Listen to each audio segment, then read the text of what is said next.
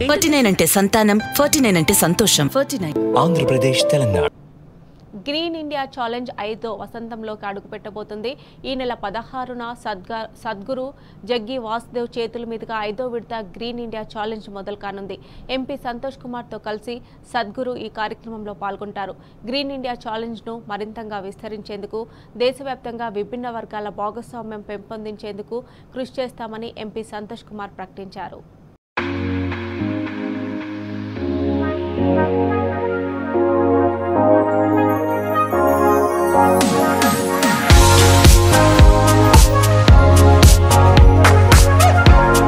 India challenge.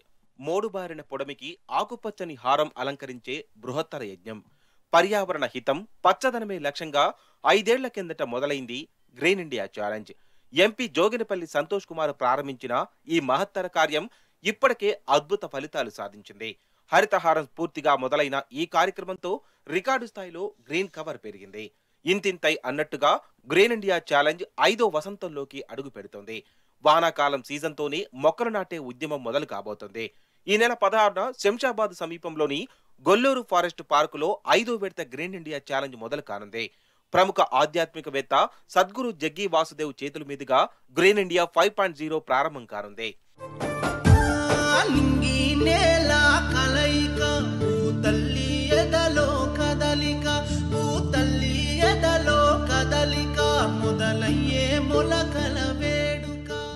పొడమిని రక్షించుకుందాం నేల తల్లి మరింత క్షీణించకుండా కాపాడుకుందామంటూ సేవ్ సాయిల్ ఉద్యమంలో సద్గురు ప్రపంచ యాత్ర చేపట్టారు. ఈ యాత్ర ఈ నెల పదిహేనున హైదరాబాద్కు చేరుకుంటుంది. రాజ్యసభ ఎంపీ జోగినపల్లి సంతోష్ కుమార్ ఐదేళ్ళ కిందట చేపట్టిన గ్రీన్ ఇండియా ఛాలెంజ్ గురించి తెలుసుకున్న సద్గురు ఈ మహత్ కార్యంలో తాను కూడా పాల్గొనేందుకు సుముఖత తెలిపారు. దీనిలో భాగంగా పదహారవ తేదీన మధ్యాహ్నం రెండు గంటలకు సద్గురు గొల్లూరు చేరుకొని ఎంపీ సంతోష్ కుమార్తో కలిసి మొక్కలు నాటుతారు. తద్వారా ఐదో విడత గ్రీన్ ఇండియా ఛాలెంజ్ను లాంఛనంగా ప్రారంభిస్తారు. ఈ కార్యక్రమంలో మంత్రులు ఇంద్రకరణ్ రెడ్డి సవితా ఇంద్రారెడ్డి ఎంపీ రంజిత్ రెడ్డి ఎమ్మెల్యే ప్రకాష్ గౌడ్ ఇతర ప్రజా ప్రతినిధులు ప్రముఖులు ఈ కార్యక్రమంలో పాల్గొంటారు.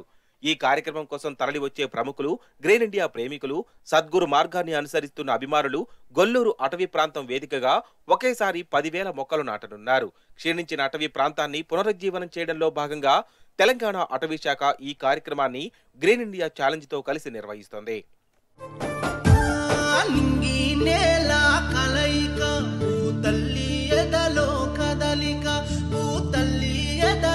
కదలిక మొదలయ్యే మొలకల వేడుక. సీఎం కేసీఆర్ మానస పుత్రిక తెలంగాణకు హరితహారం స్ఫూర్తితో రెండు వేల పద్దెనిమిదిలో గ్రీన్ ఇండియా ఛాలెంజ్ను ఎంపీ జోగినపల్లి సంతోష్ కుమార్ ప్రారంభించారు. ఒక్కరు మూడు మొక్కలు నాటి మరో ముగ్గురిని మొక్కలు నాటాల్సిందిగా ఛాలెంజ్ విసరడమే గ్రీన్ ఇండియా కార్యక్రమం లక్ష్యం. ప్రారంభించిన అనతి కాలంలోనే ఈ కార్యక్రమం దేశవ్యాప్తంగా ఉద్యమ రూపం దాల్చింది. సామాన్యుల నుంచి సెలబ్రిటీల వరకు కోట్లాదిగా మొక్కలు నాటారు. అనేక రంగాల ప్రముఖులను ఒక్క తాటిపైకి చేర్చి హరిత స్ఫూర్తిని నింపింది గ్రీన్ ఇండియా ఛాలెంజ్.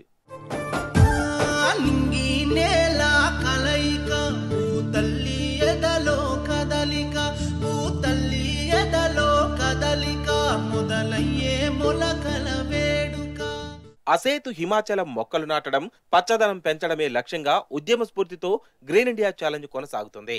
గత నాలుగేళ్ళలో గిన్నిస్ రికార్డులతో పాటు ముక్కోటి వృక్షార్చన ఊరూరా జమ్మి చెట్టు లాంటి వినూత్న కార్యక్రమాలతో కోట్లాది మొక్కలను నాటడం వాటిని సంరక్షించడం అటవీ ప్రాంతాలను దత్తత తీసుకొని అభివృద్ధి చేయడం ఇలా ఎన్నో కార్యక్రమాలను విజయవంతం చేసింది గ్రీన్ ఇండియా ఛాలెంజ్. పుట్టిన రోజైనా ఇంకో స్పెషల్ డే అయినా మరో వేడుక జరుపుకున్నా ఈ సందర్భంగా మొక్క నాటి అదే పండుగగా భావించడం ఇప్పుడు ఆనవాయితీగా మారింది. ఈ ఐదో విడతలో గ్రీన్ ఇండియా ఛాలెంజ్ను మరింతగా విస్తరించేందుకు దేశవ్యాప్తంగా విభిన్న వర్గాల భాగస్వామ్యం పెంచేందుకు కృషి చేస్తామని ఎంపీ సంతోష్ కుమార్ ప్రకటించారు.